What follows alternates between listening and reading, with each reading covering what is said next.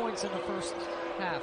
Did have his minutes limited by picking up a couple of fouls in the first half. As Boris Groats is really hounding Williams Williamson, made him pick up his dribble 45 feet from the basket. Khadim Sy over the top, of.